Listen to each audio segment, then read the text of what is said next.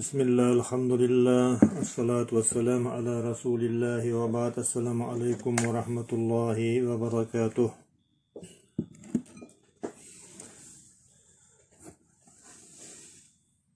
instagram o'zi bir soatda bir o'chib qola turgan odati bor ekan.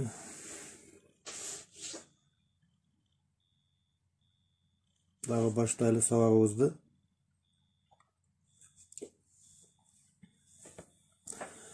елу үшінші аятқа келдік аят мәнілерінің құтырмылары ошентип муса алейхисалам аллах таала кырк күнге уадалашканга туурат бергенге шарият бергенге чакырганда булар аллахтын ушунчолук аларга көргөзгөн мээримдүүлүгүн неаматтарын муса фараондун зулумунан кутултурганын ошончо неаматтарды көргөндөн кийин деле дагы кайрадан алтындан музоо жасап ошого сыйынып алышты.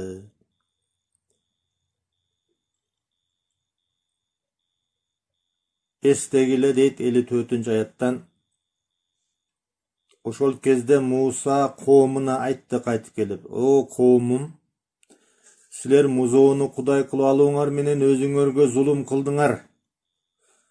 Ким бул дүйнөдө аллахтан башканы өзүнө кудай кылса аллахка эч кандай зыян жеткире албайт мусанын коому аллахты таштап алтын музоого сыйынганда аллахка эч кандай зыян алган эмес алар өздөрүнө зыян жеткирет азыркы заманда дагы аллахты коюп башка нерселерди кудай кылып алгандар аллахтын өзүнөн сурабай башкалардан сурап аткандар өздөрүнө зулум кылышат муса алейхисалам дагы келип айтты силер өзүңөргө зулум кылдыңар эми жаратуучуңарга тообо кылгыла деп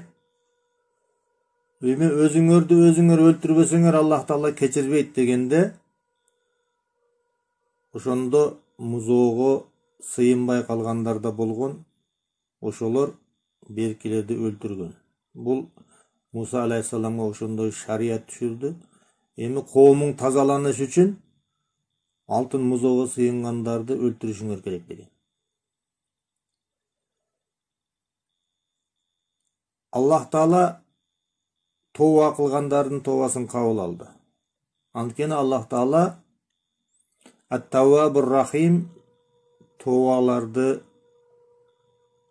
кабыл алуучу жана мээримдүү анан бану исраил коомунун яхудийлердин өжөрлүгү капырлыгы андан бетер. Ошончо нерсени көрсө дагы ошончолук ширк иштерин алла таала кечирсе дагы дагы бир аздан кийин эмне дешти эй муса биз аллахты анык айкын көрмөйүнчө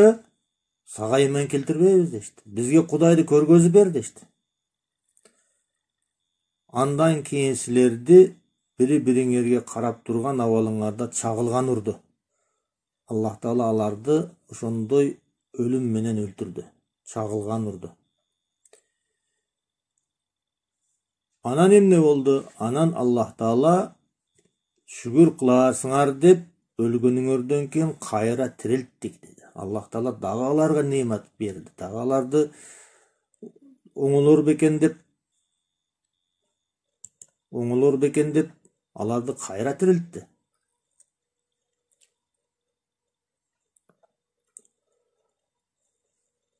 Анан алар жолдо жолду улантып кетишти. Муса алейхисалам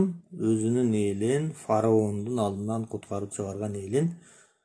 ээрчитип чөлдө жолдорун улантып кетишти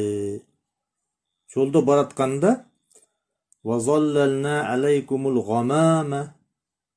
биз үстүңөргө булутту көлөкө кылып бердик кара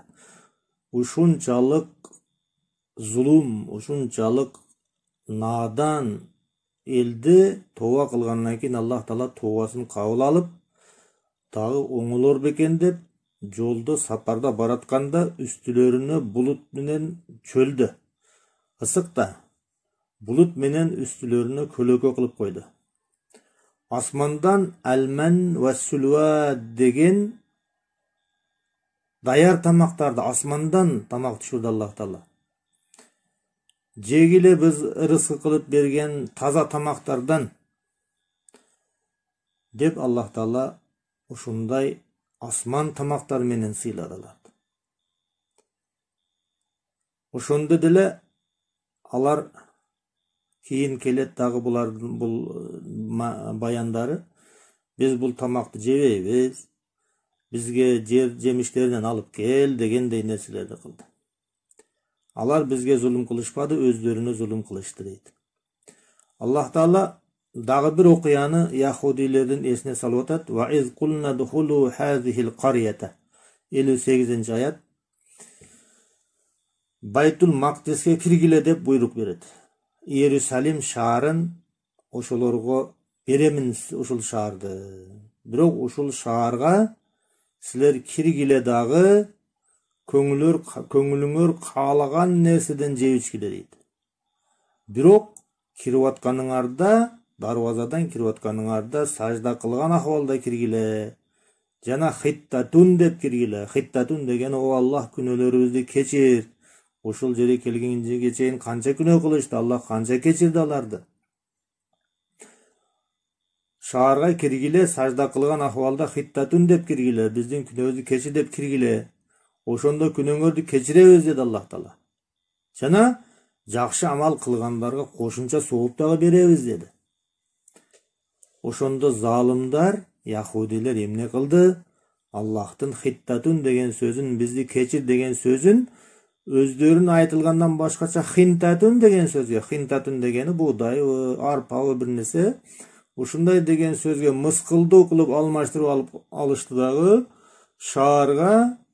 ийилип кирүүнүн ордуна көчүктөрү менен сүйрөлүп киришти мына аллах тааланын неаматтарына кандай алар жооп берип атышат кийин дейт аллах таала биз залымдарга бузукулук кылгандары себептүү асмандан азап түшүрдүк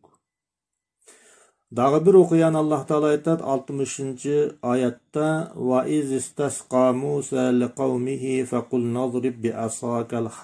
бір кезде муса чөлдө адашып жүрүп суусаган коомуна суу сурап дуа кыл деле аллах таала айтты. Чөлдө тоо таштуу чөл. Жалаң чөл эмес кумдуу чөл эмес тоо таштуу чөл.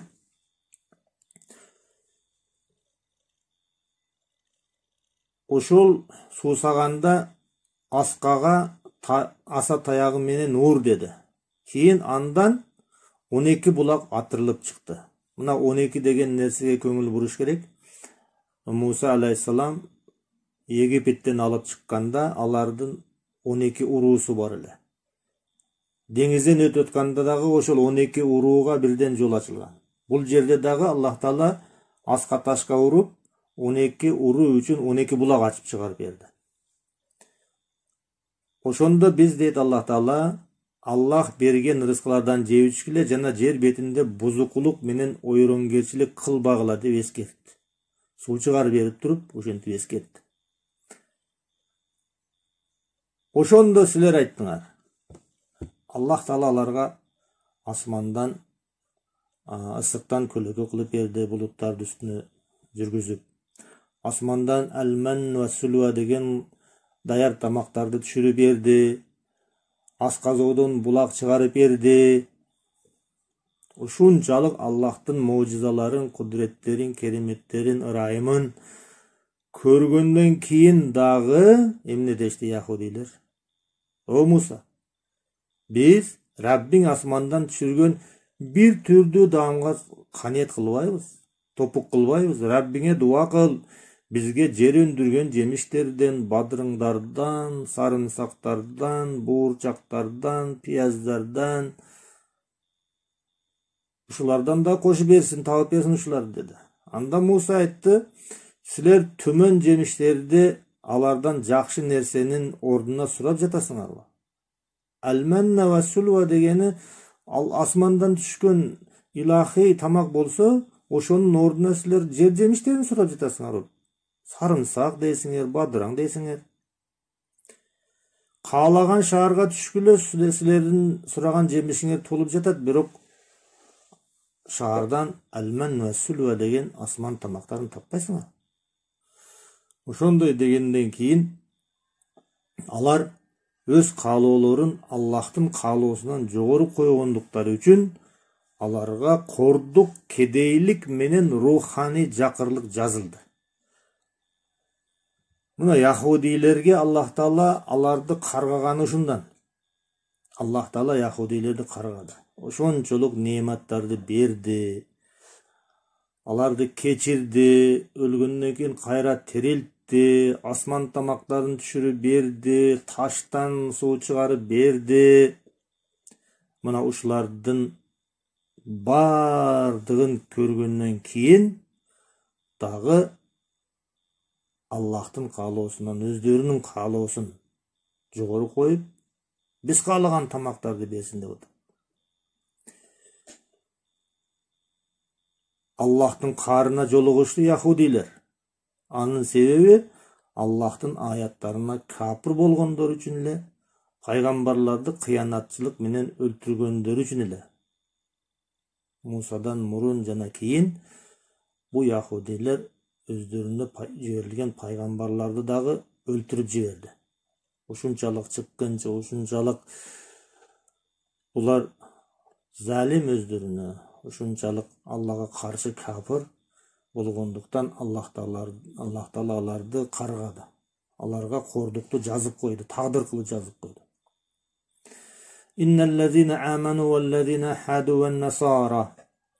алтымыш экинчи аят бул жерде яхудилер макул ошентип аллахтан түшкөн китепти өзгөрткөн экен ошентип аллахтын ачуусуна тийген экен. Христиандар болсо пайгамбарын кудай деп алыптыр өздөрүнүн пайгамбарын ошентип адашкан экен. Ал эми мусулмандар эле бейишке түшөбү деген суроо болот да ошого жооп болот бул жерде. Ыйман келтирген мусулмандар анан яхудийлер христиандар жана алардан башка бутка сыйынбаган ишенимдердин өкүлдөрү кимиси аллахка акырет күнүнө ишенген болсо жакшы амалдарды жасаган болсо раббисинин алдында аларга арналган сооп сыйлыктары даяр аларга беш алар бейишке түшөт деп атат алла таала. Бул бардык яхудилер тозокко түшөбү бардык яхудилерге алланын каргышы тийгенби деген суроого жооп. Яхудилердин арасында муса алейхисаламга түшкөндөй динге амал кылган болсо алар бейишке түшөт христиандардын арасында иса алейхисаламга түшкөндөй исага аллах таала кандай айткан болсо ошондой амал кылган адамдар болсо бейишке түшөт. Башка диндегилер эгер бутка сыйынбаган ишенимдегилер болсо алар да аллага акыретке ишенген болсо жакшы амал кылган болсо бейишке түшөт деп аллах таала кээ бирөөлөр айтат го эмне силер мусулмандар эле бейишти менчиктеп алгансыңарбы деген сөзгө жооп болду раббисинин алдында аларга сыйлыктары даяр акыретте алар үчүн тозок жок коркунуч жок кайгы капага дагы батышпайт деди кийин алтымыш үчүнчү аятта дагы кайрылуу яхудилерге о исраил урпактары эстегиле биз силердин үстүңөргө тур тоосун көтөрүп коркутуп туруп силерге берген тооратты бекем кармагыла андагы өкүмдөрдү эсиңерге туткула ошондо такыба болорсуңар деп ант убадаңарды алган элек. Яхудилерге атканда тоорат берип атканда аллах таала ал элдин табиятын жакшы билген. Пайгамбар жиберип кошумча өкүм берип атканда аларга буйрук берип атканда китеп берип атканда тур деген тоо болгон ошол тоону көтөрүп келиппи алланын периштеси. Алардын үстүнө алып келип мына ушул өкүмгө моюн сунасыңарбы жокпу дегенде алар ант берген өкүмгө моюн сунабыз деп. Ошондон кийин деле андан кийин дагы бир ирет убадаңардан кайттыңар. Эгер силерге аллахтын пазилети жана тобоңарды кабыл алган ырайым болбогондо эки дүйнөдө зыян тартуучулардан болуп калмаксыңар ошентип зордук менен кабыл алып ант берип кабыл алган нерседен дагы канча ирет жазды аллах таала канча ирет дагы кечирди аларды яхудилерди ушундай бир алардын айла амалдуу табияттары бар алланы да алдайм дешет алар адамдарды го алдашат аллах тааланы дагы алдайм дешет да аларда ушундай табият бар яхудилерге аллах таала дауд алейхисаламдын доорундагы яхудилердин окуясын айтат алтымыш бешинчи бакара сүрөсү алтымыш бешинчи аятта силер өзүңөрдөн мурун жашаган яхуди жамааттын ишемби күндүн урматы жөнүндө чектен чыкканын билдиңер биз аларга муса аркылуу силерге анын кабарын билдирдик деп айтат эмне болду эле ал күндө ал жылдары ал окуя дауд пайгамбардын доорунда яхудилердин дининде ишемби күндүн урматы деген эреже болгон ишемби күндө булар иштегенге мүмкүн эмес буларда өнөр кылганга тиричилик кылганга мүмкүн эмес ишемби күн ошондой өтүш керек эс алыш керек анан эмне кылды балык э, дайранын жээгиндеги бир коом болгон балык уулаш да мүмкүн эмес анан бир жамааттын напси азгырды дагы ишемби күнү барып туруп дайранын жээгине чуңкурчаларды казып коюшту ошо чуңкурларга дайрадан суу ачып коюшту кирген чыккан жагына тосуктарды коюшту жана кетип калышты. Балык уулаган жок. Бирок чуңкурларды казып коюшту балык кире турган чуңкурларды алтынчы күнү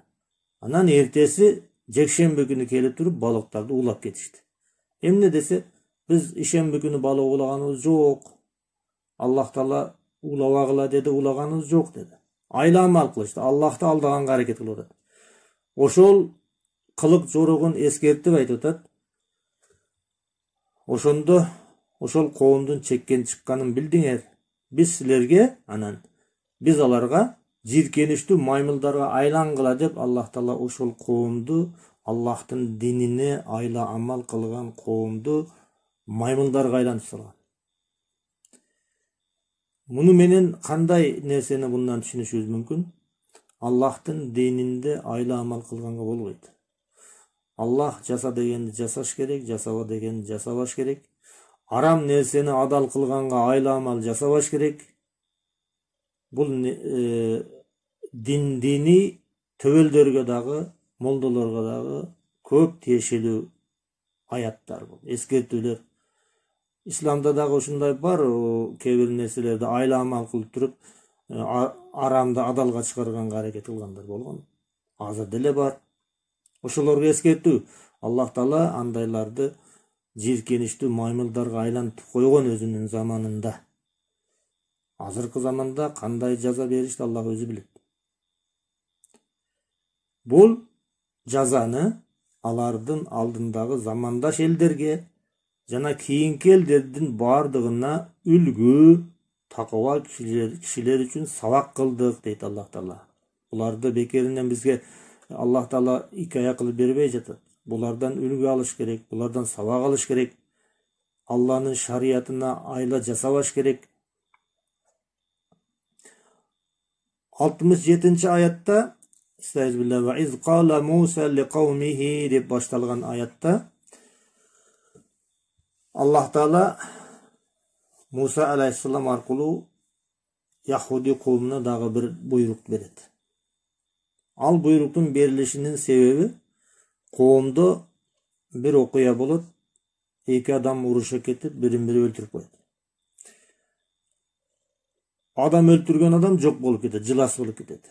эч ким билбейт аны ким өлтүрдү өлүк бар бирок өлтүргөн адам жок качып кеткен изин суутуп кеткен ошондо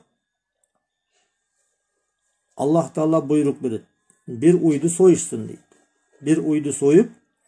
ошол уйдун бир бөлүк эти менен өлүктү урса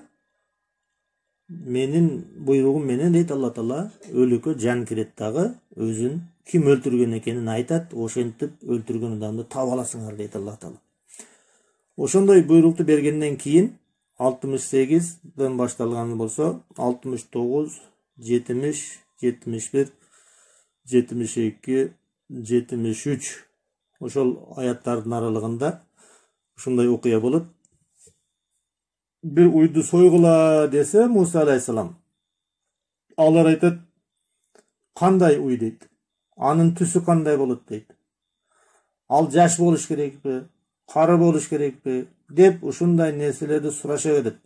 муса алейхисалам дагы сурадым мындай деди деп айта берет акырында андай уйду таппай калышат өздөрү сурагандыгы үчүн акырында анан кыйналып кыйналып кыйналып кыйналып араң табышат көп акчага алышат бул окуядан кандай үлгү алыш керек эгер аллах таала бир уйду сойгула дегенде кара болобу сары болобу ала болобу союп койгондо бүтмөк иштери бирок раббиңден сура ал уйдун түсү кандай экен деп сурашат жаш жаш уйду соелубу орто болсунбу жаш кандай болсун деп сурашат сурай берет сурай берет дин шарият ишинде айтылынган нерсени дароо аткарыш керек. Майдаланып сурай берсе адамдын башына дагы түйшүк үйүлө берет көбөйө берет акырында кыйналып калат ошондуктан азыркы күндө деле бир суроо сурагандар көп. Жооп бере турган болсоң дагы майдаланып кетет. Акырында акырында өзүнүн башына түйшүк үйүлүп кетет. Мына яхудийлер араң аткаргандай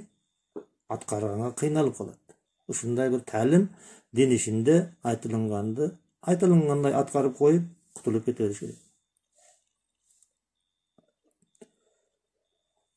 Мына ошондой можиза кылып аллах таала өлүктү кантип тирилтерине дагы мисал келтирди ошолорду көргөндөн кийин деле яхудилердин жүрөгү жумшаган жок аллах таалага. Аллах таала айтып атат жүрөгүңөр таш сыяктуу андан да катуу элсиңер деп атат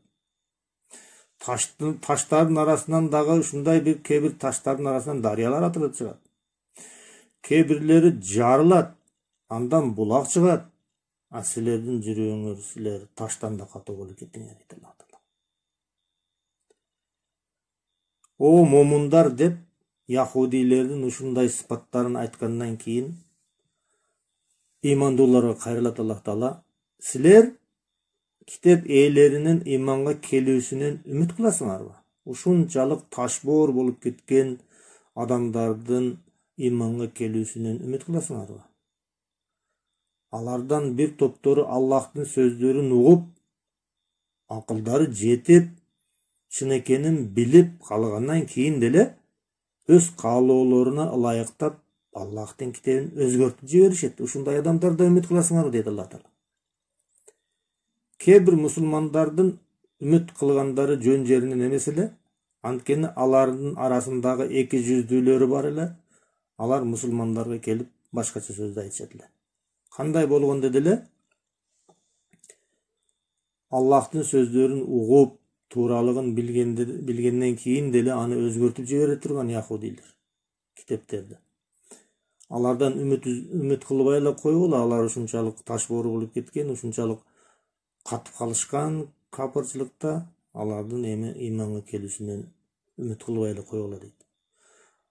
Эми үмүт кылганга эмне себеп болгон? Кээ бирөөлөрү ыйманга ыймандуу кишилерге жолуккан кезде айтат эле биз ыйман келтирдик дешет эле. Анан өздөрүнчө калганда бири бири бири бири менен сүйлөшкөндө силер эмнеге аллах туурат китебинде ачык айткан нерсе жөнүндө раббиңердин алдында өзүңөргө каршы далил келтирүүлөр үчүн айтып жатасыңарбы акылыңарды иштетпейсиңерби дешет эле. Тууратта пайгамбар саллаллаху алейхи вассаламдын пайгамбар болуп келиши жөнүндө кабарлары бар. Ошондой кабарларды силер мусулмандарга айтып дейт. Акыретте өзүңөргө каршы далил кылыш үчүн айтып атасыңарбы деп өздерінше қалғанда мындай сөз сөйлешеді ал эми жеке жеке мұсылмандарға жолыққанда жақсы сөйлешеді бұл қияматқа чейинки мұсылман яхудилердің адаты болып қалған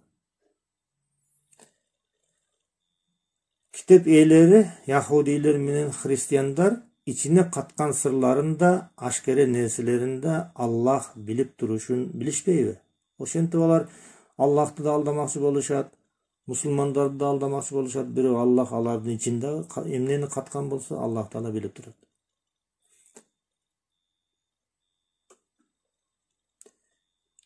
жетимиш тогузунчу аятта өз колдору менен китеп жазып аны арзыбаган баага сатуу үчүн бул аллахтан келген китеп деген яхудийлерге катуу азап болсун тозок болсун дейт аллах таала каргыш айтып атат анткени алар тоорат китебин өзгөрткөн тоорат китебин аллахтан келген бойдон таза сактабастан өздөрү китеп жазып туруп мына ушуну аллахтан келген деп аллахка доомат кылышкан аларга өз колдору менен жазгандары үчүн азап болсун аларга тапкан пайдалары үчүн азап болсун көпчүлүк яхуди диний төбөлдөрү өзүнүн доорундагы саясий бийлик башчылары менен келишип туруп ошол бийлик башчылардын каалоолоруна ылайыктап туруп тооратты бурмалап жазып жиберишкен. Ошондой бурмалоолордун натыйжасында кирип калган жанагы христиандар дагы оң бетиңе урса сол бетиңди тосуп бер. Үстүңдөн чапаныңды сыйрып алса ички кийимиңди дагы кошуп чечип бер дегендей нерселер диний төбөлдөр жанагы элдердин үстүнөн бийлигин бекемдөөнү каалаган саясатчылардын каалоосу менен ошондой нерселерди ыйык китептерге киргизген дагы мына аллах айтып атат силерге мынау бийлик башчылары ошо румдун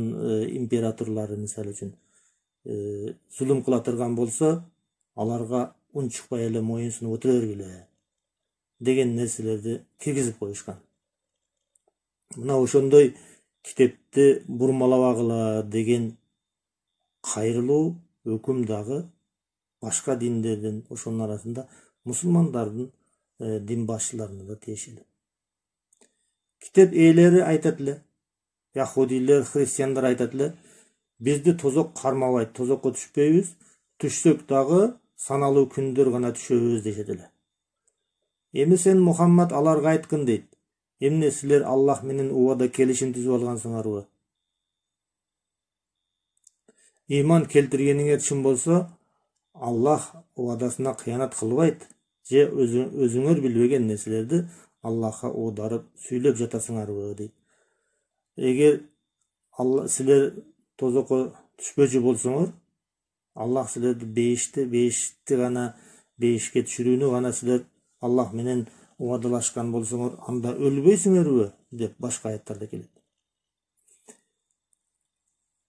ким күнөө андай эмес аллахтын өкүмү мындай ким күнөө иш жасаса жана күнөөлөрү көбөйүп аны ороп алган болсо алар тозокко болот күнөө иш жасагандан абайлаш керек күнөөнү кичине деп назарга илбей койбош керек ал урулуп чырмалып чоңоет чоңоет акыры барып ширкке айланат акыры барып адамды тозокко жетелеп кетет ал эми ыйман келтирип салих амалдарды жасагандар бейиш ээлери жана анда түбөлүк калышат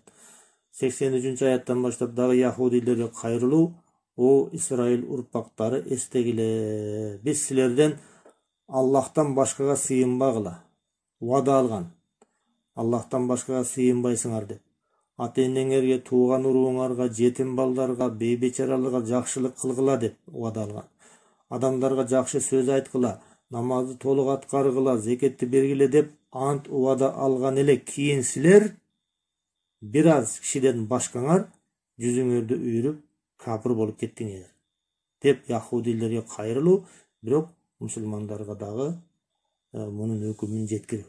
силер дагы ошондой болуп калбагыла сексен төртүнчү сексен бешинчи аяттарда деле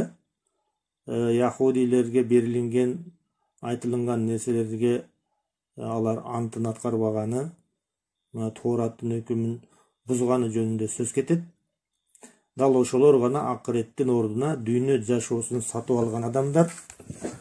алардан азап жеңилдетилбейт жана аларга аллахтын азабы берилип жатканда эч ким жардам колун созо албайт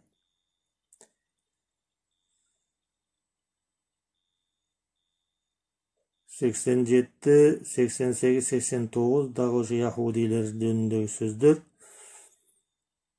анан сексен тогузда мындай сөз айтылат качан аларга аллах тарабынан өздөрүнүн тоорат китебин тастыктаган куран жана пайгамбар келгенде аларга капыр болушту ошого чейин алар тоорат окушкан адамдар яхудийлердин көпчүлүгү тоорат окушат эле тооратта пайгамбарыбыздын кабары бар эле ошону билип туруп дагы пайгамбар саллаллаху келгенде ага куран түшкөндө капыр болушту эмесе буга чейин өздөрү араб мушриктерине каршы ушул китеп жана ушул пайгамбардан жардам күтүп жакында акыр заман пайгамбары келет биз аны ээрчип силерди жеңип алабыз деп жатышкан болчу Мәдинада, Медина шары пайгамбар саллаллаху алейхи барганга чейин Ясрип деп аталган. Яхудилер коому менен арабтар бар, жашайт эле. Уруш талаш болуп калганда арабтар менен яхудилер. Яхудилер айтат эле, жакында биздин арабыздан биз бир пайгамбар чыгат. Ошол пайгамбарды ээрчип силер менен согушуп, силер жеңип алабыз дейт эле. Анткени алар ыйык китептер аркылуу пайгамбар чыгышын билишкен. Ошол пайгамбар алар каалагандай яхудилер арасынан эмес, арабтардан чыгып калганы үчүн арабтарга түбөлүк душман болуп калышты. Капырларга аллахтын наалаты болсун дейт. Аллах таала каргыш жаудыруп атат. Аллах өзүнүн фазилети менен куранды пенделеринин арасынан өзү каалаган адамга мухаммадка түшүргөнүнө көрөлбастык кылып аллах түшүргөн китепке капыр болуулары кандай жаман? Бул яхудилердин капырчылыгы шайтандын капырчылыгына окшош шайтан дагы адам алейхисаламга сажда кылбаганда эмнеге сажда кылбай койду мен текеберленди көрө албастык кылды яхудилер капырчылыгы дагы ушу көрө албастыктын аркасында болгон капырчылык себеби алар дагы бир пайгамбар чыгышын билишкен күтүп атышкан бирок адаттагыдай эле биздин арабыздан чыгат деп күтүшкөн бирок аллах таала өзүнүн фазилетин кайсы жерге коюшун өзү билет. Куранды кимге түшүрүшүн өзү билгени үчүн араб улутун тандады дагы ошолордун арасынан мухаммад алейхисаламга түшүрдү куранды. Ушул нерселерге яхудийлердин көрө албастыгы күчөп кафир болуп кетишти. Аларга мусулмандар тарабынан айтылат эле аллах түшүргөн куранга ыйман келтиргиле деп айтылса біз өзүбүзгө түшүрүлгөн тооратка ыйман келтиребиз дешти жана куранга капыр болушту мухаммад алейхисаламга айтып атат аллах таала ошолорго айткын эгер тооратка ыйман келтирген болсоңор анда эмне үчүн мурда тоорат менен өкүм жүргүзгөн пайгамбарларды өлтүрүп жибергенсиңер деп айткан эгер макул куранга ыйман келтирбестен тооратка ыйман келтирем деп аткан деген сөзүң чын болсо анда эмне үчүн силерге тоорат өкүмү менен өкүм кылган пайгамбарларды бир убакыттарда өлтүрүп жибергенсиңер деп айткан жана силерге муса анык можизаларды алып келгенден кийин деле өзүңөргө зулум кылган акыбалда билип туруп музоого сыйындыңар. Ошол мен тооратка ишенем куранга ишенбейм дегендерге айткын. Анда эмне үчүн тооратка ишенген болсоң тууратта алланын өзүнө сыйынгыла шерик кылбагыла деп айткан болсо эмне үчүн? Муса алейхисалам алла менен жолукканы кеткенден кийин өзүңөргө алтындан музоо жасап туруп ошолорго сыйынып алыңар деп айткан деп аллах таала мухаммад алейхисаламга мединадагы яхудилер менен алардын алымдары менен кандай мамиле кылышты үйрөтүп токсон төртүнчү аят о мухаммад яхудийлерге айткан эгер силер ойлогондой аллахтын алдындагы акырет жайы бейиш жана башка адамдарга эмес силер үчүн гана болсо анда өзүңөргө өлүм тилегилечи эгер шын сүйлөп жаткан болсоңор яхудилер айтат азыр деле айтат биз дейт аллахтын сүйгөн пенделерибиз биз тандалган улутпуз дейт аллах бизди тандап алган дейт бейишке биз гана түшөбүз бизден башка элдер түшпөйт бизден башка элдер бизге кызмат кылып гана жашасын дейт азыркы мына дүйнөнү дүңгүрөтүп аткан окуялардын көпчүлүгү ошо масондордун жасаганы деп айтып атышпайбы эмне үчүн булар ушундай проекттерди иштеп чыгып атышат мунун баары алардын ыйык китебине барып такалат алардын ыйык китебине алардын диний жетекчилерине барып такалат ошолор айтат. Бул туура бул яхудилер алланын сүйгөн пенделери булар үстөн жашаш керек башка элдердин баары яхудилерге кызматчы болуш керек. Яхудилер гана бейишке түшөт башкалар бейишке түшпөйт. Ушул эле сөздөрүн ушул эле идеологияларын мухаммад алейхисаламдын убактысында дагы айтышкан яхудилер. Эй мухаммад ошолорго айткан дейт алла таала эгер бейишке силер түшүшүңөр чын болсо бейиш силер үчүн болгон болсо анда эмне өлүмдү каалабайсыңар анда эмне өзүңөргө өлүм тилебейсиңер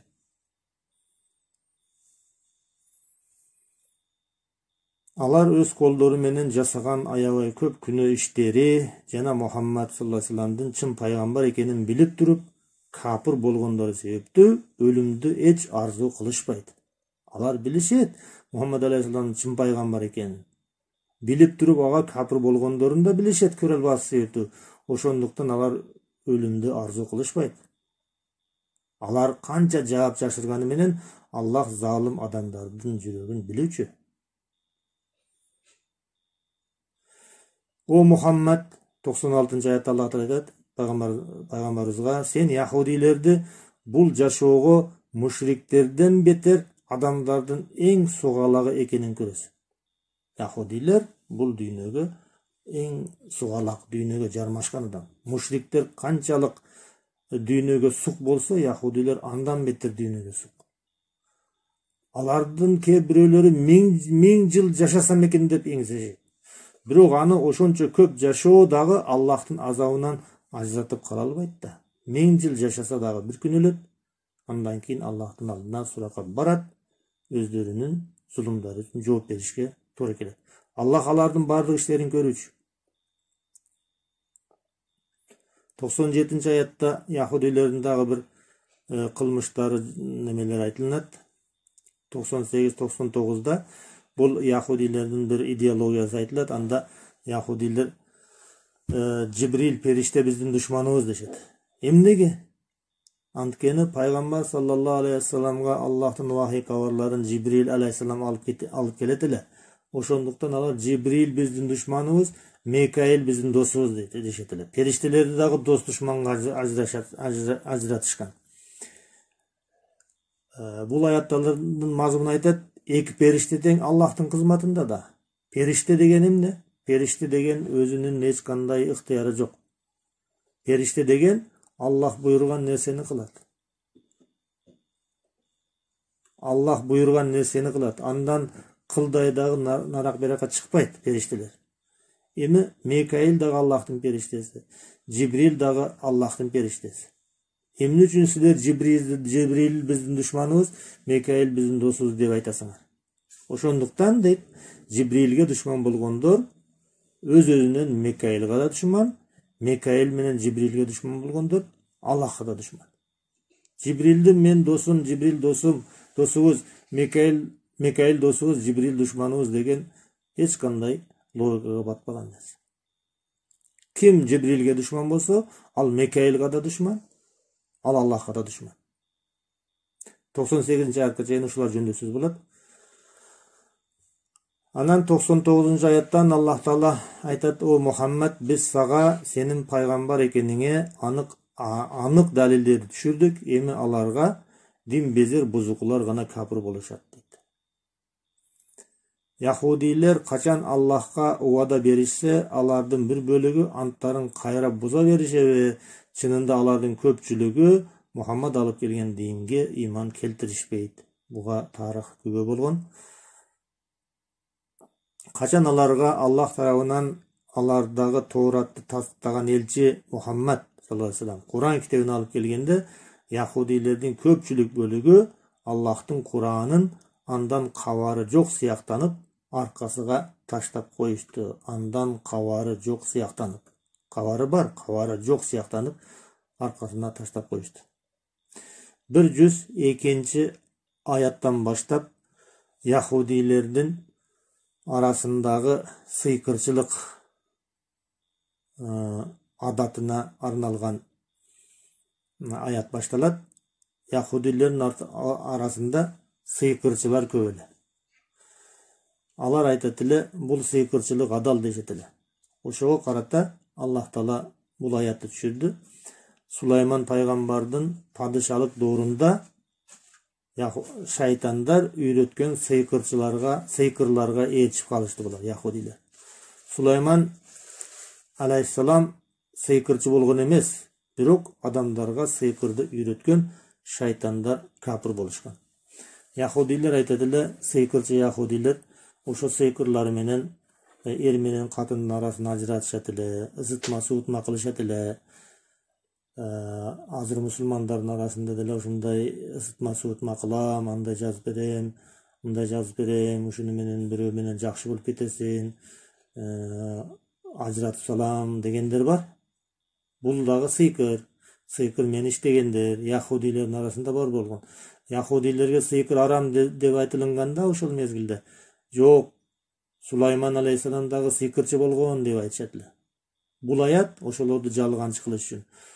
сулайман сыйкырчы болгон эмес бирок адамдарга сыйкырды үйрөткөн шайтандар капыр болушкан жана вавилондогу харут жана марут деген эки периштеге түшүрүлгөн сыйкырга ээрчип калышты алланын жолуна ээрчибестен сыйкырга ээрчип калышты аллах таала сулайман алейхисаламдын доорунда адамдарды сынаш үчүн асмандан эки периште жиберет харут жана марут деген периште жиберет алар алар сыйкыр илимин алып түшүшкөн адамдарга жолуккандан мурун айтышкан бизди аллах таала жиберди сынаш үчүн бизде ушундай сыйкыр деген күчтүү илим бар бирок муну үйрөнүш капырчылык сыйкыр бар илим күчтүү илим муну менен бирөөгө зыян кылып койсо да болот жаман көргөн адамдарга бирок бул капырчылык деп айтмайынча бирөөгө үйрөтпөйсүңөр деп эки периштени адам түшкөлүндө түшүрөт алар түшүп элдердин арасында ошондой айтышат биз ушундай сыйкыр деген илим бар бирок бул капырчылык эгер муну үйрөнсөңөр капыр болуп каласыңар деп эскертип жүрүп жүрүшкөн бирок азгырылган адамдар бул сыноо болгон үчүн азгырылган адамдар аны сыйкырды үйрөнүп алышкан ошондон бери сыйкыр илим болуп калган сулайман алейхисаламдагы алейхисаламдын доорундагы окуя ошентсе да яхудилер эрди катындын арасын ажырата турган нерселерди үйрөнүп алышат харут жана маруттан алар эскерткенине карабай үйрөнүп алышат анан аллахтын уруксаты болмоюнча аны менен эч кимге зыян жеткире алышпаса дагы ошону менен аракет кылыша берет алар пайдалуу нерсени эмес өздөрүнө зыян жеткире турган нерселерди үйрөнүштү. Сыйкыр эч качан пайдалуу нерсе эмес. Адамга зыяндан башка эч нерсе алып келбейт. Яхудилер сыйкырды сатып алгандар үчүн акырет яхудилер үчүн же алардан башка сыйкыр үйрөнгөндөр үчүн акыретте насип жок. Муну яхудилер билишкен. Жакындарынын азапка калуусунун эсебине сатып алган нерселери жандарынын азапка калуусун тозок үчүн тозоктун эсебине сатып алган нерселер кандай жаман алар муну билишсе кана дейт бир жүз үчүнчү аят аннахум аману ваттаку деп башталган аят кана эми яхудилер сыйкырдан аллахтын дини жакшы экенин билип ыйманга келишти сыйкыр бир жака коюлуп атат аллахтын дини экинчи таразыга коюлуп атат кана эми алар сыйкырдан аллахтын дини жакшы экенин билишсе деп атат азыркы күндө дагы жанагы мен андай кылып берем мындай кылып берем дегендердин баардыгы көзү ачыктар бакчылар баардыгы сыйкырчылар болот ошолордун жасаган иши аллахтын динине карама каршы муну айтып атат алар аллахтын дини сыйкырдан жакшы экенин билишсе деп атат ыйманга келип такыба болушса аллах тарабынан болгон сооптор жакшы эле го сыйкырга караганда кана эми алар муну билишсе билишпей жатат о ыйман келтиргендер мухаммадка раина дебегиле унзурна дегиле бул дагы сахабалардын пайгамбар саллаллаху алейхи вассаламга кайрылуудагы бир адептерди айтып өтөт буга токтолуштун кажети жок анан бир жүз бешинчи аят бир жүз алтынчы аят. Бир жүз алтынчы аятта курандагы аяттардын насых жана мансухка бөлүнүшү жөнүндө айтат. Эгер курандагы бир аяттын өкүмүн жокко чыгара турган болсок анын ордуна андан жакшыраагын келтиребиз дейт. Бир жүз жетинчи аятта о пайгамбар деп аллах таала расулулла саллаллаху алейхи вассаламга кайрылуу жасайт. Асмандар жана жер өкүмдарлыгы жалгыз аллахка таандык экенин жана силерге аллахтан башка эч бир кожоюн эч бир жардамчы жок экенин билбедиңби муну өзүң дагы билип алгын муну үммөттөрүңө дагы билдирип койгун аллахтан башка кожоюн жок аллахтан башка жардамчы жок адам башына оорчулук мүшкүлдөр түшүп калганда аллахтан башкага жардам жардам сурап чуркап жөнөбөсүн кээ бирөөлөр тоо таштарга барат жардам сурап кээ бирөөлөр мазарларга барат кээ бирөөлөр оолуяларга барат жардам сурап арбактарына барат дарактардын шактарына чүпүрөк байлашат мына ушулардын баардыгы ширк нерселер о мухаммад деп атат асмандар жана жердин өкүмдарлыгы аллага гана таандык эч ким аллахтан башка бирөөгө зыян жеткире албайт эч ким пайда жеткире албайт. Аллахтан башка кожоюн да жок. Аллахтан башка жардамчы да жок өзүң дагы муну билип ал дейт үммөттөрүңө дагы муну айтып кой дейт аллах таала